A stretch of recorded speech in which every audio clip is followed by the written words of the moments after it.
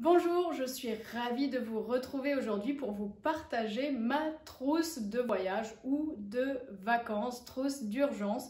Vous adapterez bien sûr son contenu à la composition de votre famille, si vous avez des enfants ou non, si vous avez des pathologies euh, ou non, suivant peut-être votre âge et bien sûr l'endroit où vous vous rendez. Euh, si vous vous rendez dans un endroit où il y aura des pharmacies, des boutiques bio, où vous trouvez les produits habituels que vous avez l'habitude d'avoir à côté de chez vous, vous emporterez moins de choses que si vous allez à l'autre bout du monde ou dans des endroits plus reculés où il sera difficile d'avoir accès aux produits que vous avez l'habitude d'avoir au quotidien.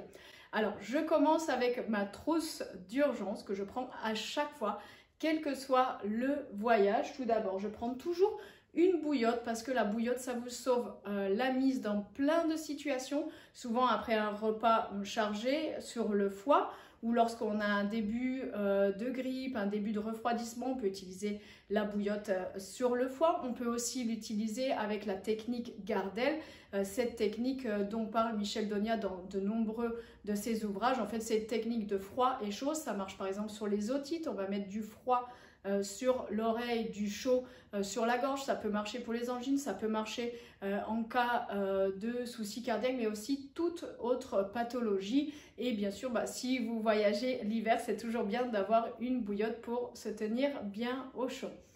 si vous n'en avez pas, vous pouvez prendre bien sûr une bouteille plastique, vous mettez de l'eau chaude dedans avec un petit linge autour, ça vous fait une bouillotte. Moi j'aime bien la bouillotte caoutchouc. Ensuite, ce que je prends toujours à tous mes voyages, dès que je le peux, euh, du stérimar, de l'eau de mer euh, pour euh, nettoyer le nez. Ça prévient un, peu des infections et également bah, c'est agréable de pouvoir se laver le nez. J'aime bien la marque Stérimar. je prends la plus simple parce que sinon vous allez payer un prix supplémentaire avec des oligo-éléments, etc. Pour moi, pas la peine de dépenser plus. L'eau de mer basique est très bien et aussi parce que bah, leur spray fonctionne très bien. On en consomme un peu moins que sur d'autres marques. Donc je choisis cette marque mais vous pouvez aussi le fabriquer vous-même avec du sérum de Quinton maison, plus de l'eau filtrée et si vous avez de quoi faire un spray, euh, vous pouvez le faire maison, cela vous coûtera trois fois rien. Ensuite, ce que j'amène à chaque fois, c'est de l'argile. Vous voyez, pas beaucoup parce que bah, les, moyens sont limités quand on voyage.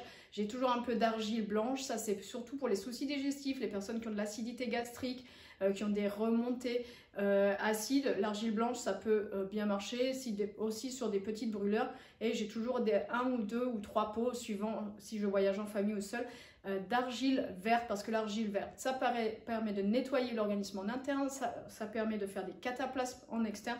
Donc ça, c'est toujours à avoir avec vous.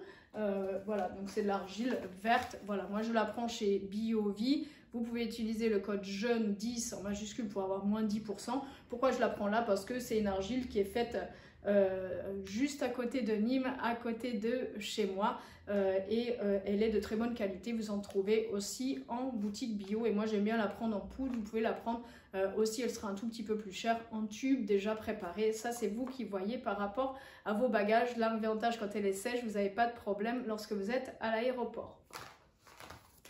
Ensuite, ce que j'amène à chaque fois, parce que j'ai une fâcheuse tendance euh, à m'enrhumer lorsque je voyage, je prends toujours un paquet de Pérubor. C'est pour faire des inhalations assez à base d'huile essentielle. Donc, vous voyez, un paquet, généralement, il y a une dizaine de capsules. Ça suffit pour une ou deux personnes qui sont malades pour faire des inhalations.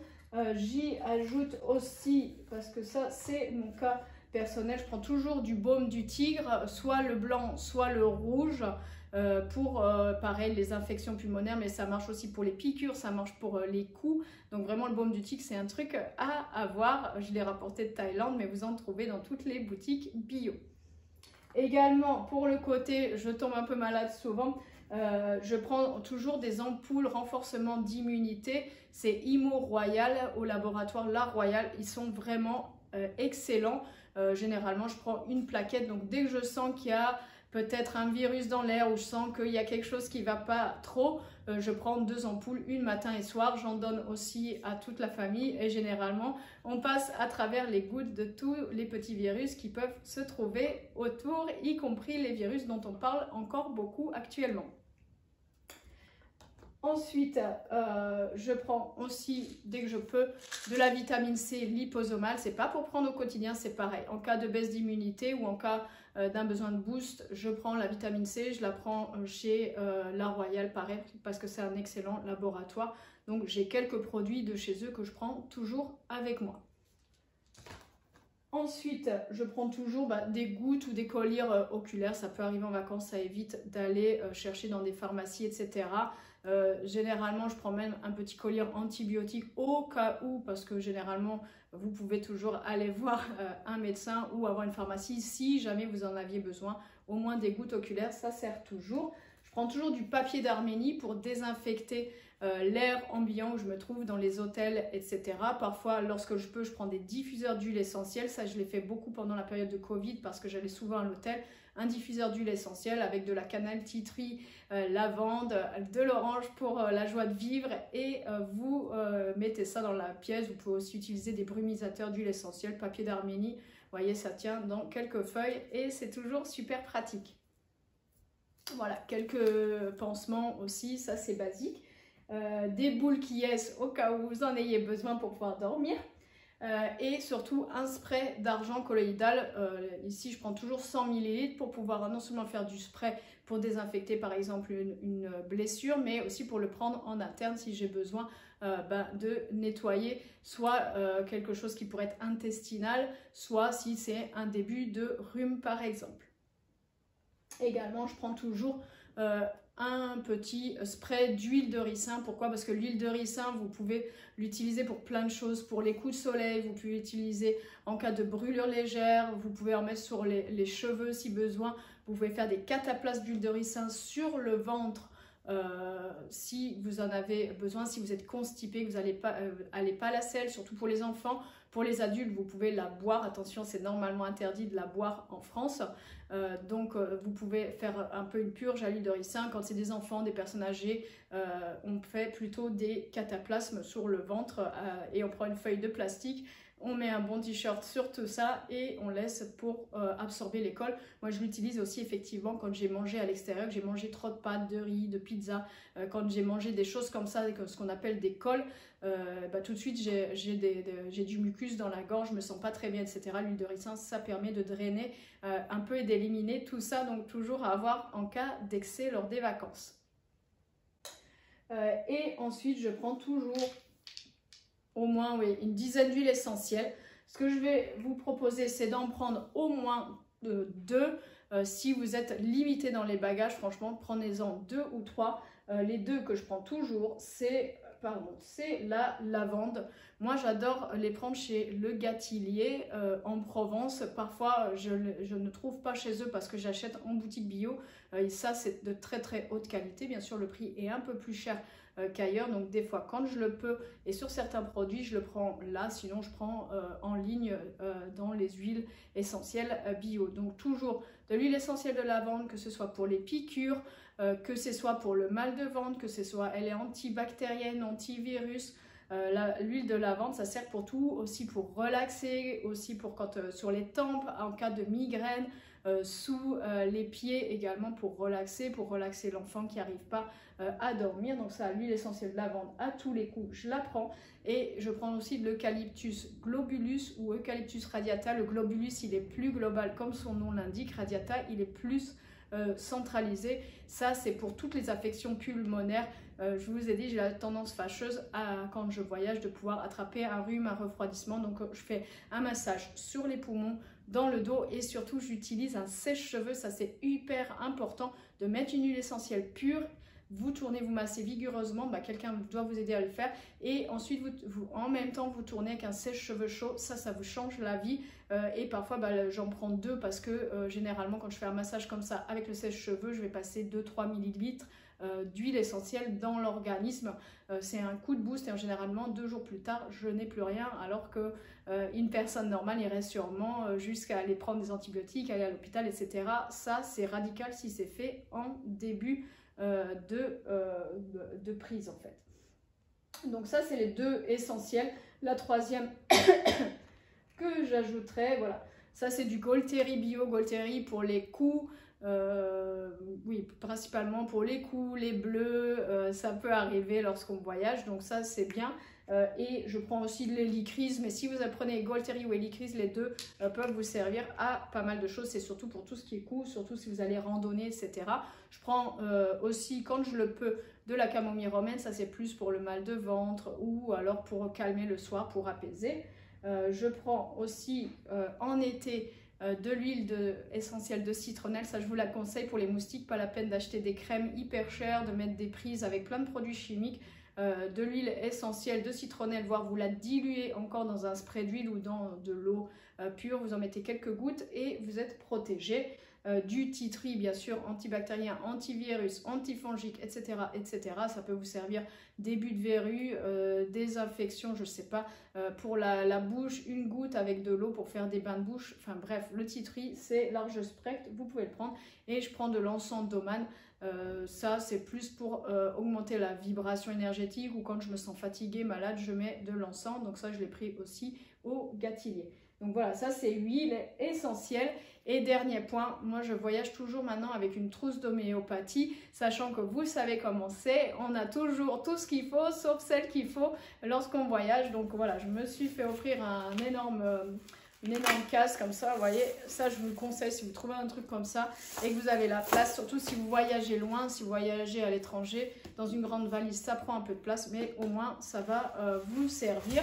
Ici, je vous ai sorti les principaux que vous pouvez prendre avec vous et je vous conseille d'avoir euh, ça comme trousse de pharmacie, sachant que souvent maintenant les prix de, l'homéopathie explosent parce que euh, c'est dérégulé et surtout ils suppriment de nombreuses souche, plein de produits que je trouvais encore il y a 3, 6 mois, 1 an n'existent plus. Donc pensez à faire des stocks parce qu'ils sont en train de réduire au maximum le nombre de produits disponibles. Donc toujours à avoir Arnica Montana en cas de coup, surtout si vous avez des enfants, euh, un coup, on tombe, etc. Arnica tout de suite, 3 granules et on peut en prendre plusieurs prises, toutes les 15 minutes, plus toutes les heures, puis toutes les 2 heures espacées. Euh, je prends aussi euh, belladonna, ça c'est vraiment à avoir en cas de fièvre. Ça, la fièvre, elle tombe tout de suite. Bien sûr, il faut laisser la fièvre s'exprimer pour expulser les toxines. Si vous avez des petits, c'est parfois inquiétant. Donc c'est bien d'avoir du belladonna en début d'infection. Je ne sais pas, vous allez avoir un rhume ou vous n'êtes pas bien ou vous sentez que ça va, ça va pas. C'est plus pour la fièvre, vraiment belladonna pour faire tomber la fièvre. Moi, j'en ai toujours avec moi aussi. Euh, Colinsantis, China rubra, ça c'est en cas de diarrhée, de, euh, tourista, vraiment à l'étranger. Euh, Momornica n'existe plus, ils l'ont supprimé. Donc il y a Colosantis, China rubra à avoir toujours avec soi. Euh, Mercurius solubilis, moi je l'utilise surtout pour le mal de gorge. Ça m'arrive assez souvent d'avoir mal à la gorge, donc toujours Mercurius solubilis avec moi. Pour les CH, vous embêtez pas, vous prenez en 9 CH. Mais si vous avez 5, 7, 9 CH, des bases dilution, euh, ça euh, marchera très bien. Euh, je aussi... Qu'est-ce que je vais montrer? Nux vomica aussi, pareil, envie de vomir, nausée.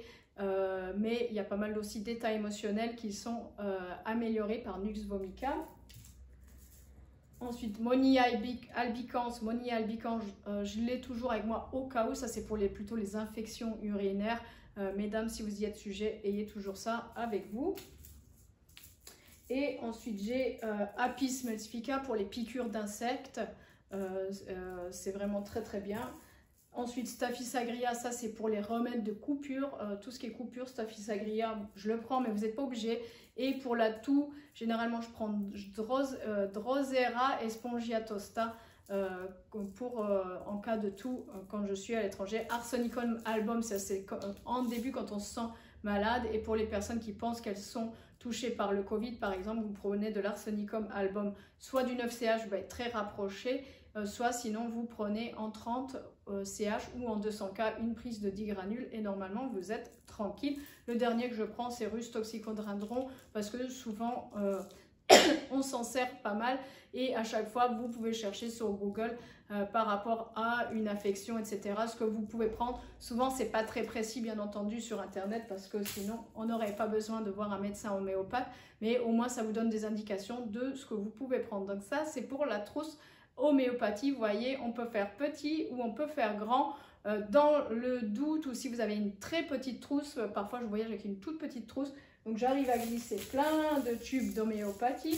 Je prends euh, de la lavande, de l'eucalyptus globulus, ça c'est les deux que je prends tout le temps parce que ça se glisse facilement. Du baume du tigre parce que ça sert aussi bien pour les piqûres d'insectes, tout comme la lavande ou pour les coups ou pour un refroidissement, c'est vraiment à large spectre. Le pérubor, souvent je l'ai avec moi souvent des pots euh, d'argile, euh, l'eau de mer, l'argent colloïdal, l'huile de ricin.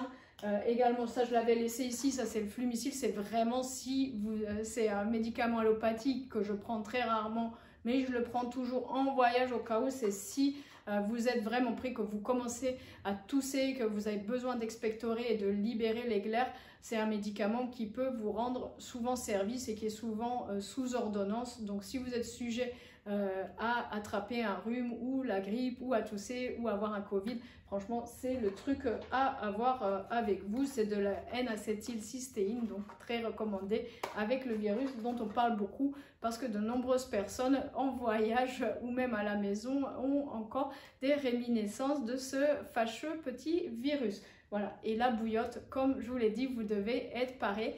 N'hésitez pas à commenter sous la vidéo ci-dessous si vous avez des autres trucs à rajouter dans la trousse d'urgence ou la trousse de voyage. C'est toujours avec plaisir que je lis vos commentaires et ça aide les autres internautes à pouvoir compléter leur trousse. Je vous souhaite une belle journée.